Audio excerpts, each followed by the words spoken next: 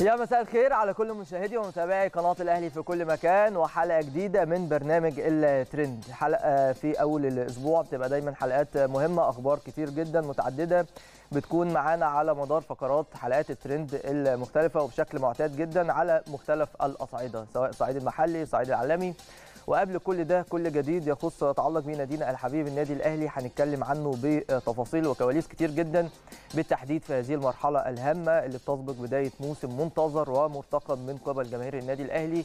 إن شاء الله يكون مليء بتحديات مهمة يقدر من خلالها النادي الأهلي يحقق مختلف الألقاب اللي بينتظرها الجمهور كما هو المعتاد. فبالتالي عندنا كلام كتير جدا جدا مهم سواء فيما يتعلق بجانب يخص معلومات أو كواليس بتخص النادي الأهلي أو بعض القضايا أيضا أيضا اللي بتخص النادي الأهلي أكيد هنعلق عليها ونتساءل بعض الأسئلة المهمة من خلال جزء لاحق في الحلقة. فتابعونا لحظة بلحظة. لكن الأكيد والأهم إن حضراتكم دايما تتواصلوا معنا من خلال صفحات القناة المختلفة على السوشيال ميديا فيسبوك تويتر وإنستجرام بخصوص سؤال حلقة اليوم والسؤال بيتعلق بالفريق الأول لكرة القدم وتحديد الجهاز الفني وكولر. وتوقعاتكم للتشكيل الرسمي الأول للنادي الأهلي في أول مباراة في الموسم الجديد أمام فريق الاتحاد المنستير الجزائري التونسي إن شاء الله بإذن الله يوم 9 من الشهر اللي ابتدى النهارده شهر أكتوبر إن شاء الله تكون انطلاقة وبداية مهمة جدا للموسم بشكل عام وأيضا بالتحديد في بطولة دوري أبطال أفريقيا الغائبه الموسم الماضي فقط عن النادي الأهلي إن شاء الله يستعيدها الفريق وترجع دولاب البطولات كالعادة بإذن الله تعالى.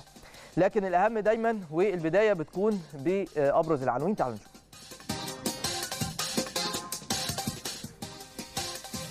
في ترند الأهلي الفريق راح من التدريبات لمدة 48 ساعة. وفي الترند المحلي فيتوريا يطلب وديه ثانية في نوفمبر. وأخيرا المغرب تقترب من استضافة أمم إفريقيا 2025 طيب النهارده عودة البريمير ليج وأيضا بعض المباريات في مختلف الدوريات الأوروبية. خلينا نبتدي بالبريمير ليج ومباريات الدوري الإنجليزي ومباريات عديدة أكيد مثيرة كالعادة في هذه البطولة القوية للغاية. أول مباراة كانت الساعة واحدة ونص أرسنال فاز على توتنهام هوتسبير بنتيجة 3 1 ويواصل صدارته لبطولة الدوري الإنجليزي بغض النظر عن مباراة ليستر سيتي غدا أمام مانشستر يونايتد. وطبعا دي قمة الجولة. بكل تأكيد المباراه بكرة هتكون الساعة 3 العصر. في هذه اللحظات بتجرى عدد من المباريات بالتحديد خمس مباريات في الجولة الحالية. بورنموث مع برينتفورد الشوط الأول انتهى 0 0 المباريات دي كلها ابتدت الساعة 4 كريستال بالاس مع تشيلسي 1 1 فولهام خسران من نيوكاسل 3 0 وفولهام مطرود من عندهم لاعب أعتقد شالوبا اللي جاي أعاره من تشيلسي. وليفربول مع برايتون. ليفربول بيترنح في الحقيقة وأداء سيء للغاية بالتحديد على المستوى الدفاعي وأيضا المستوى الهجومي. مفيش شغل كتير جدا. الشوط الأول خلص 2-1 لبرايتون اللي تقدموا بهدفين وبعد كده صنع صلاح هدف لفيرمينو كان مشكوك في صحته بسبب التسلل لكن اقروا حكام الفار وهو فعلا هدف صحيح 100% لكن ننتظر الشوط الثاني ونشوف ليفربول هيعملوا إيه والشوط تقريبا بيبتدي في اللحظات دي وأنا بتكلم معاكم. كمان المباراة الأخيرة في التوقيت ده هي مباراة ساوثهامبتون مع إيفرتون والتعادل السلبي بدون أهداف. النهارده كمان في مباراة أخرى في الدوري الإنجليزي هتكون الساعة 6:30 ما بين ويست هام يونايتد وويلفرهامبتون مباراة مهمة جدا بكل تأكيد. وفي الحقيقة كل المباريات في الدوري الإنجليزي كلها مهمة بصراحة. تعالوا نروح لدوري تاني وهو الدوري الأسباني. النهارده أيضا في عدد من المباريات قادش مع فياريال ده ماتش خلص بالتعادل السلبي بدون أهداف. وأيضا خيتافي بيلعب دلوقتي مع بلد الوليد 2 2 التعادل إيجابي لسه الماتش ما خلصش. وإشبيلية الساعة 6:30 مع أتلتيكو مدريد وريال مايوركا مع برشلونة الساعة 9 بالليل. مباريات اليوم كمان في الدوري الفرنسي ستراسبورج هيلعب الساعة 5 دلوقتي بالظبط بيبتدي الماتش مع رين الفرنسي وأيضا باريس سان جيرمان مع نيس دي مباراة هتكون الساعة 9 بالليل.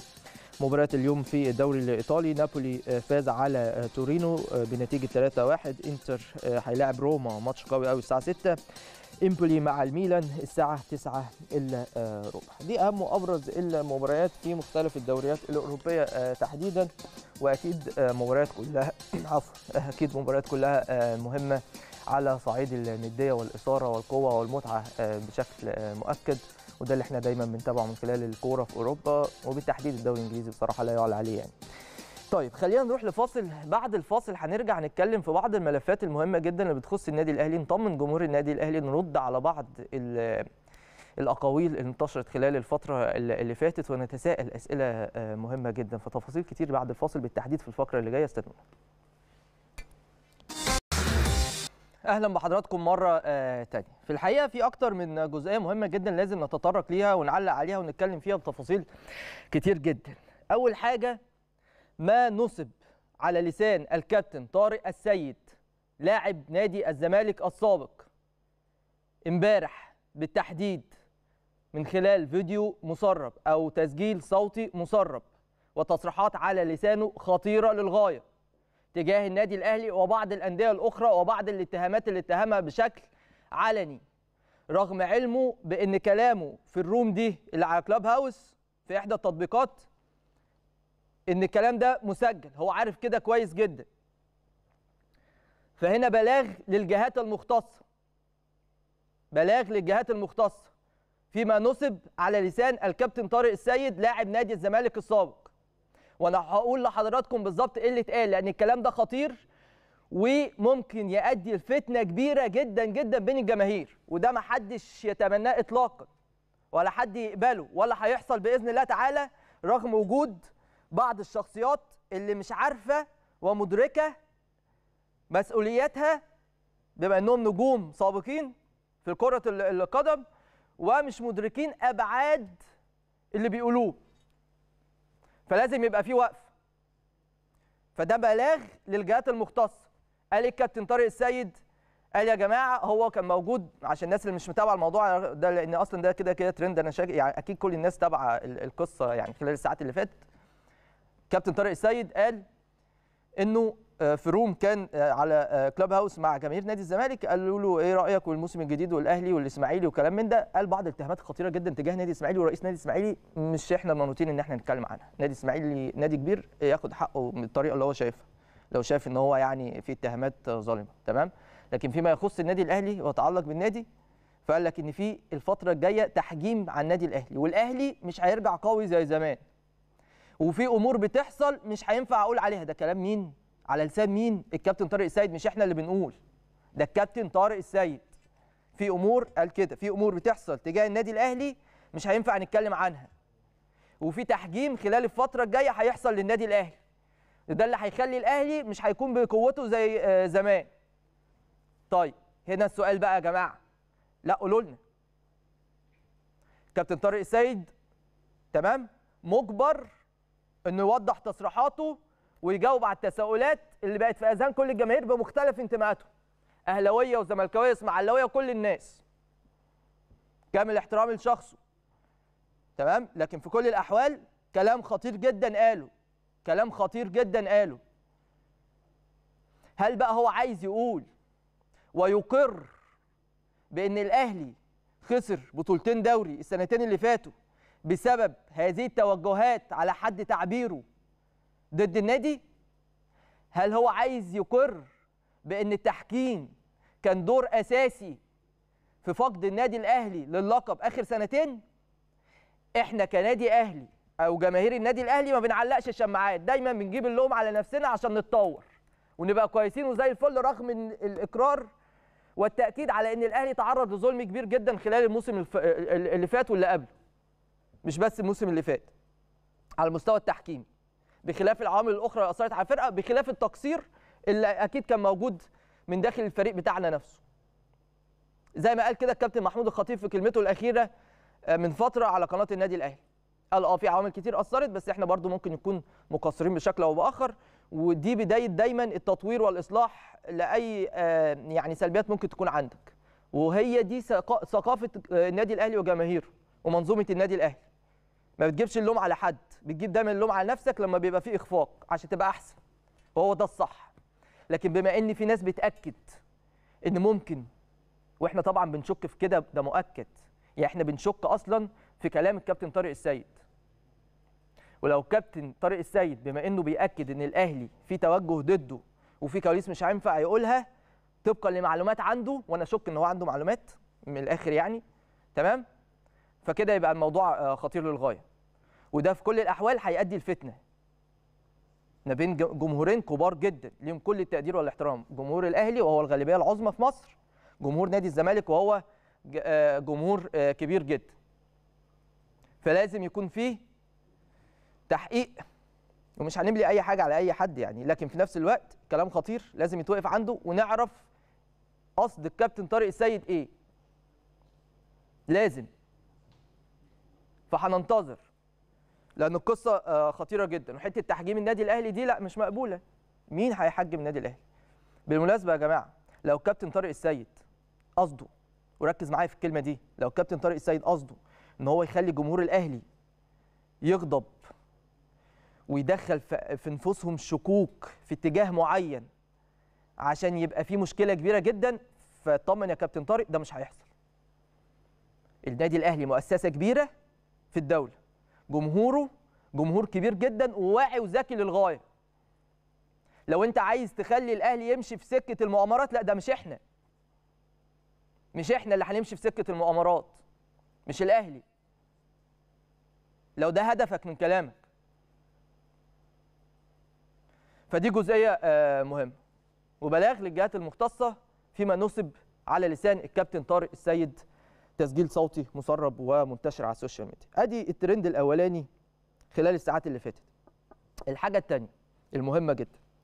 للأسف الشديد للأسف الشديد كل فترة تلاقي واحد من المحسوبين على النادي الأهلي رغم إنه ممكن يكون ما لعبش فترة آه، كبيرة ممكن يكون لعب آه، سنتين ثلاثة كلام من ده. بس مفيش مشكلة طالما كنت نجم في النادي وقدرت إن أنت تعمل مجهود كويس وكلام من ده. آه ما جبتش بطولات كتير قوي وكلام من ده بس برضه أنت محسوب على النادي الأهلي. لكن في نفس الوقت مش أي حد يا جماعة محسوب على النادي الأهلي فهو ملم بمبادئ وقيم النادي الأهلي. مش شرط خالص. مش شرط خالص. لكن آه، مش كل واحد وكامل احترامي لكل الشخصيات بالمناسبة لكن مش كل واحد نفسه يشتغل جوه النادي الأهلي وشايف إن هو ملوش دور خلال السنوات اللي اللي فاتت كلها وكلام من ده يطلع يقعد يقول كلمتين بقى ما لهمش أي لازمة ومش واقعيين ومش موجودين أصلا. يقول لك إيه؟ أصل الأهلي آخر سنتين مش عاجبني فيه حاجة مفيش حاجة بتتعمل. لا انت بقى مش مش واخد بالك بقى أو انت مش متابع أو انت عندك توجه أو انت عايز تقول كده أو انت مبسوط انك بتقول كده أو ليه غرض ما أو انت حاسس أو شايف من وجهة نظرك انك لما هتقول كده الاهلي هيشغلك. لا. نتمنى الناس كلها يا رب تكون يعني بتحقق أحلامها في ناس سواء بقى تشتغل جوه النادي الأهلي بره النادي الأهلي أي كلام مفيش مشكلة خالص يعني. تمام؟ لكن في نفس الوقت لو انت فاكر ان بالاسلوب ده انت هيكون ليك مكان جوه منظومة النادي الاهلي سواء مع المجلس الحالي أو مع مجلس تاني ممكن يجي بعديه يبقى انت بتحلم. مش هي دي الطريقة خالص. لأن يا جماعة كم النجوم الكبار في تاريخ النادي الأهلي اللي لعبوا في النادي الأهلي ده وساهموا في بطولات عديدة وإنجازات كتيرة وفي نفس الوقت مش موجودين جوه المنظومة. لكن بيساندوا وبيدعموا المنظومة من الخارج. وهو ده الدور اللي معتاد دايما من جماهير النادي الأهلي ومن كل من هم محسوبون على النادي الأهلي. لكن للأسف قلة قليلة جدا من هؤلاء عايزين بس إن هم يلفتوا النظر ليهم وفاكرين إن بالطريقة دي هم كده هيكون ليهم دور جوه النادي الأهلي. ده صعب جدا بالأسلوب ده صعب جدا. فما تقفوش ما تقفوش عند التصريحات اللي زي دي. لأن هي مش واقعية ومش حقيقية ومخالفة تماما للواقع. الأهلي آخر موسم مش موفق في بعض البطولات لكن المواسم اللي قبليها مكتسح. مكتسح. أفريقيا هو ال king في أفريقيا. هو اللي واخد بطولتين أفريقيا ورا بعض اتنين سوبر ورا بعض آه، برونزيتين كأس عالم حتى على المستوى الدولي. الأهلي بيشرف مصر بشكل كبير جدا. فللأسف الشديد للأسف الشديد مستحيل إن كل أبناء النادي الأهلي يشتغلوا في وقت واحد جوه النادي. أنت النهارده مش موجود ممكن بكرة تبقى موجود. أنت النهارده موجود بكرة ممكن بكرة تبقاش موجود. لكن في الأول وفي الآخر ما تحاولش تخسر جمهور النادي الأهلي. يعني لازم يكون في ذكاء أكبر من كده بصراحة. فدي برضو جزئية من جزئيات المهمه قبل ما أطلع فاصل خليني أكلمكم عن النادي الأهلي. أنتوا مستعجلين على الفاصل ولا ألحق أتكلم على الفرقة؟ طيب نروح لفاصل سريع. بعد الفاصل أرجع أتكلم عن النادي الأهلي واستعداداته للموسم الجديد لأن في بعض كمان الأمور المرتقب آه، والمنتظر الإعلان عنها خلال الفترة اللي جاية. فاستنونا بعد الفاصل. أهلا بحضراتكم مرة آه، تانية. خلينا نتكلم شوية على الفرقة بتاعتنا والأهلي واستعداداته للموسم الجديد ويمكن بالتحديد خلال الفترة الحالية الفريق آه، في آه، أجازة النهارده وبكرة تحديدا بعد معسكر كان مغلق وتطبيق لنظام اليوم الكامل على مدار تقريبا 8 9 أيام. الأهلي كان مركز فيهم من خلال معسكر مميز جدا عن طريق المدير الفني الجديد آه، مارسيل آه، كولر المدرب السويسري. المعسكر ده تخلله عدد من المباريات الودية. أول مباراة كانت قدام بتروجيت الأهلي فاز 5 1 تجربة أكيد كانت مفيدة. المباراة الثانية كانت أمام أسوان. الأهلي فاز بنتيجة 2 1 أيضا كانت تجربة آه، مفيدة. والمباراة الأخيرة اللي كانت يوم الخميس كانت قدام طلائع الجيش واللي انتهت بالتعادل السلبي بدون أهداف. أيضا أكيد كانت تجربة مفيدة للغاية لأن أنت برضو واجهت فريق متكتل دفاعيا قدامك مع مدير فني آه، جديد. طبعا فيش تفاصيل كتيرة جدا على أو عن المباراة في إطار السرية والكتمان بخصوص استعدادات النادي الأهلي ودي حاجة إيجابية في الحقيقة لكن في كل الأحوال أكيد قابلت فريق عنيد زي فريق طلائع الجيش. ويمكن الفترة الأخيرة إحنا مش يعني مش بنعرف نكسب طلائع الجيش بشكل آه، رسمي. يعني دايما بيبقى فيه سوء حظ في إنك تكسب فريق طلائع الجيش لكن ده مش مقياس اطلاقا لأن البعض برضو اتكلم على تعادل الأهلي مع طلائع الجيش 0 0 ده ماتش ودي تستعد من خلاله. في مدرب جديد عندك كويس انه شاف التكتلات الدفاعية اللي بتحصل قدامك عاملة إزاي عشان يشوف حلول حلول بقى سواء عن طريق اللعيبة طبعا الموجودة السوبر اللي عندك أو عن طريق الصفقات الجديدة اللي آه، بتتعاقد معاها أو تعاقدت معاها. فكل هذه الأمور مهمة جدا. وإن شاء الله كل الثقة للجهاز الفني واللاعبين في الموسم الجديد. الفريق واصل تدريباته امبارح حتى بعد الماتش. امبارح الجمعة كان مران صباحي بس وبعد كده خد كولر آه، قرار باراحه اللاعبين لمدة 48 ساعة. النهارده وبكره مفيش تدريبات خالص لكن في نفس الوقت الراجل نفسه بيشتغل. حتى شفنا صورة هو منزلها ليه على حسابه على انستجرام آه، في إطار دراسته المستمرة لإمكانيات فريق الاتحاد المنستيري التونسي آه، في المباراة المقبلة اللي هنقابله في دور ال 32 آه، في آه، بطولة دوري أبطال أفريقيا فالراجل بيعكف على الدراسة بشكل آه، كبير وعلى حسم بعض الملفات الأخرى في كل الأحوال. فنتمنى له يا رب آه، كل ال- آه، التوفيق. طيب الفريق هيرجع للتدريبات بتاعته بعد بكرة إن شاء الله. من خلال مران هيكون وحيد في اليوم. مش هيكون بقى آه، يوم كامل ولا حاجة. هيبقى مران العصر الساعة 4 أو 5 العصر. والتدريبات هتستمر حتى موعد السفر اللي بإذن الله هيكون يوم الخميس المقبل يوم 6 آه، أكتوبر. وان شاء الله بإذن الله يكون في تدريبين بقى يوم الجمعة والسبت وتلعب الماتش يوم الأحد بإذن الله تعالى الساعة 4 العصر بتوقيت القاهرة 3 بتوقيت تونس. طيب آخر حاجة هتكلم فيها بخصوص الأهلي لأن شفنا صفحات الأهلي الرسمية المختلفة على آه، ال social media من يومين آه، بالتحديد أو ثلاثة كانوا أعلنوا أو نوهوا على إن في حاجة هيتم الإعلان آه، عنها. فترقبوا خلال الساعات المقبلة الاعلان عن بعض الأمور المهمة اللي ممكن تكون بتم أكيد كل جماهير النادي الأهلي. ننتظر الأمور في الإطار الرسمي بشكل آه، مؤكد. لكن بنطمن الجماهير آه، ده الأسبوع الأخير قبل انطلاق الموسم بالنسبة للنادي الأهلي على الصعيد الأفريقي تحديدا. فأكيد هيكون في بعض الأمور الهامة والأخبار المهمة جدا بالنسبة لجماهير النادي الأهلي. فمش عايز الناس تقلق خالص وتابعوا وترقبوا كل هذه الجوانب المهمة. خلينا نروح لفاصل. بعد الفاصل نرجع نكمل. استنوا. أهلا بحضراتكم مرة آه، تانية. خلينا نروح لترند الأهلي ونشوف أهم وآخر ال- الأخبار وأبرزها على ال social media آه، بالتحديد خلال الساعات الأخيرة. ونبتدي بحساب يلا كورة على تويتر واللي بيقولوا إن في مصدر آه، ليلا كورة قال إن مارسيل كولر يمنح لاعبي الأهلي راحه يومي السبت والأحد ويستأنف التدريبات يوم الاثنين استعدادا لمواجهة الاتحاد المنستيري وده اتكلمنا فيه بشكل رسمي. طيب برنامج كولر ده كمان من الوطن سبورت حسابهم على فيسبوك.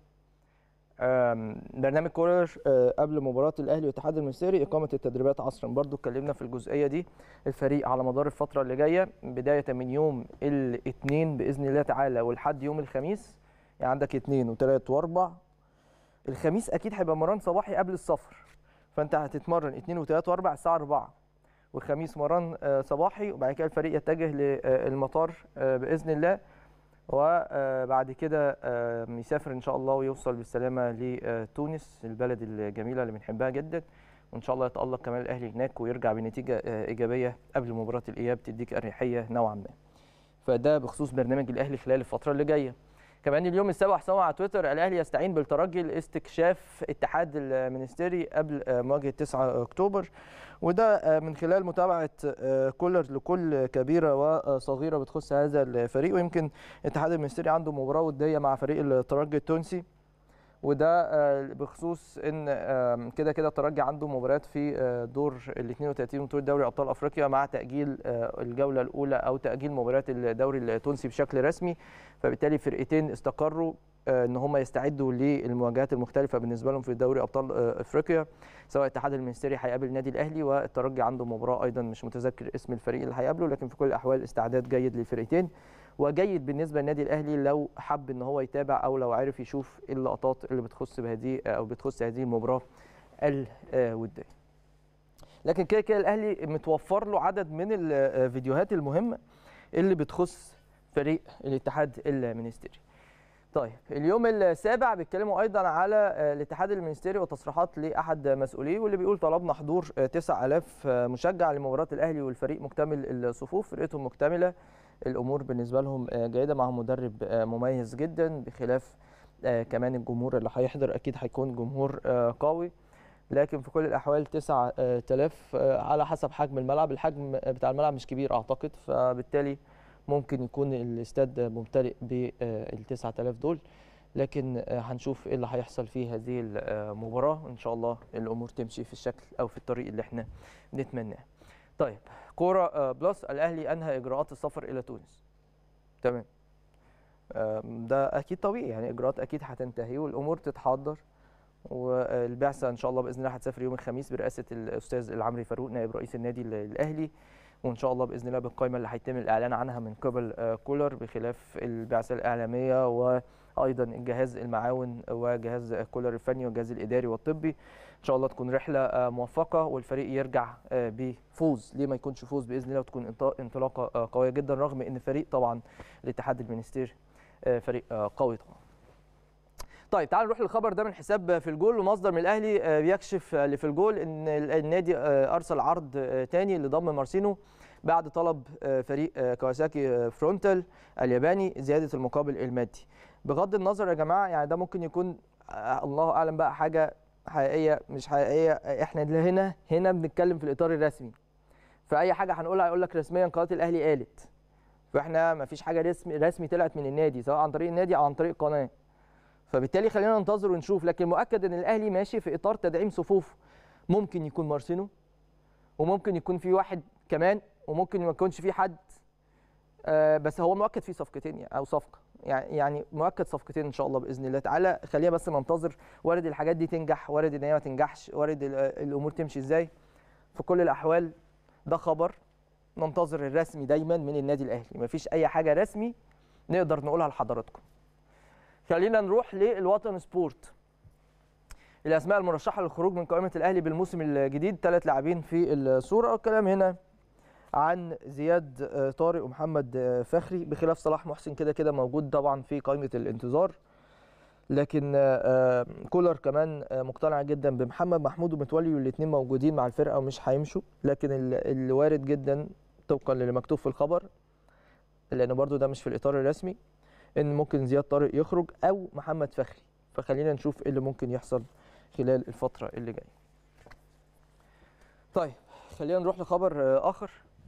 وده من حساب في الجول واللي بيقول إن كهربا يخضع لاختبار طبي النهارده أو بالتحديد يوم الاثنين اللي جاي قبل العودة للتدريبات. كهربا عنده شد عضلي خفيف أو إجهاد عضلي في العضلة الأمامية أعتقد على ما أتذكر. وإن شاء الله اجهاد بسيط جدا. آه مكتوبه هي العضلة الأمامية. اجهاد بسيط وهيقدر يشارك في التدريبات بعد الاختبار الطبي بإذن الله تعالى يوم الاثنين اللي جاي. وكهربا من اللعيبة المهمة جدا جدا واللي استعد بشكل كويس في ال pre-season أو في المرحلة الحالية قبل بداية الموسم. يلا كورة. بيتكلموا عن استراتيجية الأهلي. وإحنا اتكلمنا فيها قبل كده بالمناسبة. استراتيجية الأهلي في التعاقدات هذا الموسم. الأهلي عمل إيه يا جماعة؟ برضه عشان القصة دي مهمة لازم نقف عندها. أول حاجة انت دلوقتي كنادي أهلي دايما فريق بطل بتحاول تدعم صفوفك تحاول تجيب آه لعيبة آه كويسين آه يكونوا إضافة للمجموعة اللي عندك عشان تكون قائمة قوية جدا تقدر من خلالها إنك تنافس على مختلف الألقاب في الموسم.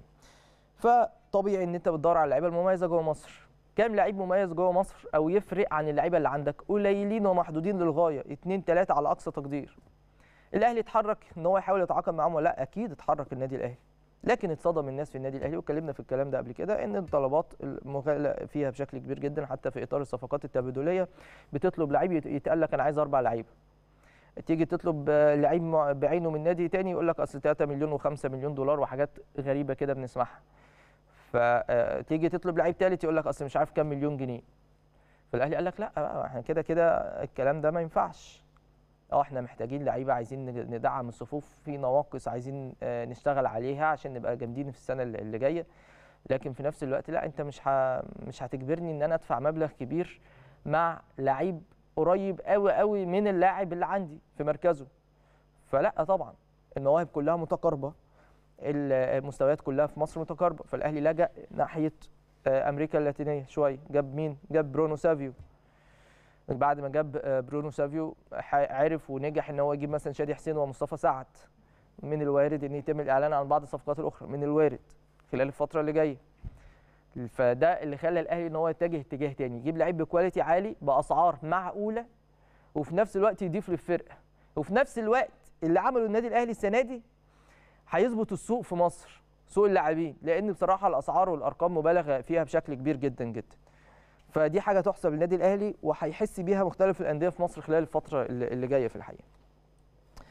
طيب خلينا نروح للترند المحلي بالتحديد بعد ما خلصنا ترند الأهلي وبعض الأخبار المهمة. نروح للوطن سبورت وفيتوريا. بيطلب إقامة ودية ثانية في معسكر نوفمبر ومفاوضات مع الكويت. إحنا هنلاعب بإذن الله بلجيكا. ده خلاص تم الاتفاق عليه والأمور حسمت. وهتقابل بلجيكا يوم 18 نوفمبر.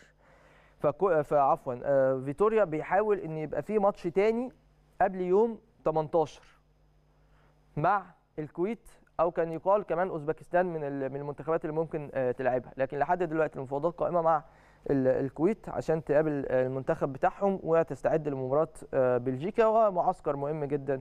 الناس كلها طبعا بتستعد لكأس العالم أو بعض المنتخبات تستعد لكأس العالم. إحنا نستعد لتحديات تانية خالص على المدى البعيد فإن شاء الله كل التوفيق لجهازنا الفني لمنتخبنا الوطني الأول وأيضا لفيتوريا نروح للمصري الرياضي وبيقولوا بعد سحب التنظيم من غينيا وده اللي أعلنه امبارح متسبي رئيس الاتحاد الأفريقي لكرة القدم. فبالتالي في بلدين عربيين من أفريقيا بيحاولوا إن هم يفوزوا بشرف تنظيم كأس الأمم الأفريقية ويمكن الجزائر والمغرب. بخلاف أيضا جنوب أفريقيا داخلة في القصة والسنغال لكن الأقرب يا جماعة هتكون المغرب يعني بشكل كبير جدا جدا المغرب هي اللي هتنظم بطولة الأمم الأفريقية 2025 طيب نروح لكوره بلس واحد من نجوم الأهلي السابقين اللي إحنا بنحبهم جدا وبنقدرهم وبنقدر مجهودهم على مدار يعني أربع خمس سنين مع أعتقد خمس سنين مع النادي الأهلي مليئة بالإنجازات والبطولات والأداء المميز من جونيور أجاييه نجم الأهلي السابق واللاعب الحالي لفريق سموحة واللي تعرض في أو ليه كسر بسيط في قدمه. وعمر الغنيمي نائب رئيس نادي سموحة وضح الإصابة وقال إن هو هيغيب ثلاث أسابيع عن الملاعب أو بعد الثلاث أسابيع هيعمل الجراحه بعد كده يغيب شهرين ونص عن الملاعب. نتمنى له الشفاء السريع جونيور اجاييه ويرجع بسرعة للملاعب لأنه لعيب عنده موهبة ولاعب مميز جدا وأكيد جمهور النادي الأهلي بيحبوا نتمنى له التوفيق والشفاء سريعا بإذن الله تعالى. ده كان الترند المحلي. خلينا نروح لفاصل سريع بعدين نرجع نكمل. أهلا بحضراتكم مرة ثانية تعالوا نشوف ترند العالمي وأهم الأخبار بالتحديد في الشق العالمي. نبتدي بيه في الجول وحسابهم على تويتر واللي بيتكلموا على إن أرون رامسديل طبعا حارس أرسنال المميز كان ليه بعض التصريحات بيشيد بيها أو من خلالها بمحمد النني من خلال قناة بي تي سبورت الإنجليزية وبيقول النني أحد ألطف الأشخاص الذين قابلتهم في حياتي. وبيتكلم بيقول لك لا يمتلك عظمة واحدة سيئة أو آه يعني ما فيش حاجة وحشة فيه يعني. هو من النوع الذي تحتاج لتواجده في غرفة الملابس. يعني الراجل بيشيد بالنني جدا والنني طبعا معروف جدا أخلاقه وتدينه و يعني التزامه الكبير جدا بصراحة سواء داخل الملعب أو خارج الملعب فبيلقى إشادة كبيرة من زميله. طيب ESPN وحسابهم على تويتر. بيتكلموا على إن آخر مواجهة واجه فيها إيرلينج هالاند مع ليساندرو مارتينيز اللي هو مدافع مانشستر يونايتد. مارتينيز حافظ آه، فيها على شباكه آه، نظيفة وخرج بفوزه 4-0 آخر ماتش كان ما بين الاثنين الثنائي ده. قدر مارتينيز إنه ما ان يحرم هالاند من إحراز الأهداف وفي نفس الوقت كسب هذه المباراة 4-0 بكرة هتبقى مواجهة نارية بين الثنائي ده بصراحة يعني. ماتش مانشستر آه، يونايتد ومانشستر آه، سيتي. الماتش اللي هيكون الساعة 3 العصر بتوقيت القاهرة. الناس كلها هتترقب وتنتظر هذه المباراة. نبتدي أو نكمل باليوم السابع ونروح لهالاند يحذر مانشستر يونايتد. لن يوقفني أحد بالدوري الإنجليزي. بصراحة هالاند هو إن كون إن أنت بتلعب كورة أصلا بصراحة يعني ده ع- عدم تكافؤ فرص. الراجل بيجيب اجوان من قبل الماتش يبتدي. حاجة غريبة. يعني ممكن تلاقي الماتش ابتدى كده هو 1-0 مثلا مانشستر سيتي هو اللي جايب الجون. 2-0 ممكن تلاقيه جاب الجونين أو جاب جون منهم. فموهبة تهديفية غير طبيعية. غير طبيعية بصراحة. فطبعا صعب جدا إيقاف هالاند حتى لو من مارتينيز لكن برضه في كل الأحوال الراجل عنده 11 جون في سبع ماتشات في الدوري الإنجليزي. بداية خارقة يعني. فهنشوف الماتش بكرة أكيد هنستمتع بيه آه، جدا. طيب على الجانب الآخر وده من حساب اي EPL World World على آه، تويتر. قال آه، هاري كين سجل 44 هدف في آه، ديربيات لندن في البريمير ليج. 14 منها ضد أرسنال آخرهم هدف النهارده من ضربة جزاء. في المباراة اللي انتهت آه، بنتيجة آه، 3-1 لأرسنال. جول وحسابهم على تويتر بيتكلموا برضو على هاري كين. وبيقولوا إيه؟ بيقولوا إن هاري كين بهدفه على أرسنال أصبح أول لاعب يسجل 100 هدف خارج أرضه. سبعة آه، منها كانت من خلال ركلات جزاء أمام أرسنال. الأرقام القياسية ودايما لهواة الأرقام دايما بيحبوا يعرفوا هذه ال- الأمور المهمة ويعرفوا إيه التفاصيل.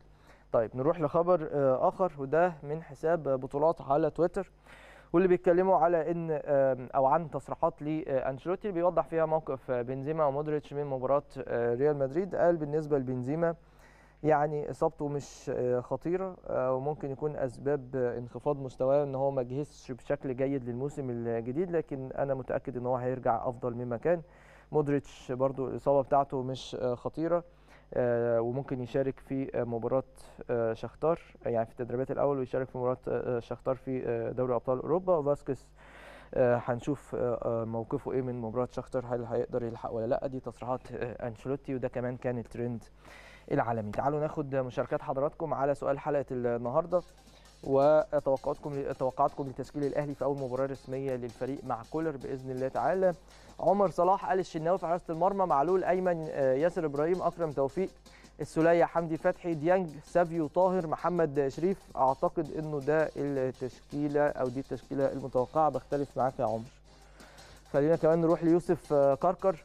قال لك الشناوي عبد المنعم ياسر إبراهيم أكرم معلول السوليه ديانج قفشة سافيو طاهر شادي آه، آه، حسين. ماشي. نروح لتفاعل آه، آخر من مصطفى محمد. قال لك الشناوي معلول عبد المنعم ياسر أكرم السولية آه، ديانج عبد القادر قفشة سافيو وشادي وكمان محمد شعبان. قال الشناوي معلول عبد المنعم ياسر إبراهيم أكرم توفيق سولية ديانج شادي حسين قفشة برونو آه، سافيو ومحمد آه، شريف. وبيعتقد إن هو ده التشكيل. آخر تفاعل معانا ده من خلال سامح آه، فراج. قال الشناوي معلول عبد المنعم رامي محمد هاني حمدي فتحي ديانج السوليه عبد القادر شريف وسافيو. دي كانت تفاعلات حضراتكم وتوقعاتكم لتشكيل الأهلي في الموسم الجديد مع انطلاق أول مباراة بإذن الله تعالى يوم 9 آه، آه، أكتوبر المقبل. قدام فريق الاتحاد المنستيري في ذهاب دور 32 إن شاء الله الأهلي يكون موفق. دي كمان كانت حلقتنا النهارده من الترند ليس لدينا المزيد وغدا كل جديد في حلقة جديدة من نفس البرنامج. فاستنونا إلى اللقاء.